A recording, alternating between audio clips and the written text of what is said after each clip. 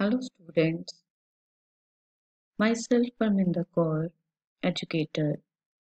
आज का जो टॉपिक है वो है कंट्रोल ऑल्ट डेल की combination on the Linux operating system जैसे कि आपको पता है कि विंडोज़ में कंट्रोल ऑल्ट डेल की को यूज़ किया जाता है एप्लीकेशन को टर्मिनेट करने के लिए या सिस्टम को रीस्टार्ट करने के लिए. But When this combination is used on the Linux operating system, then there is no confirmation message displayed and the system is rebooted directly.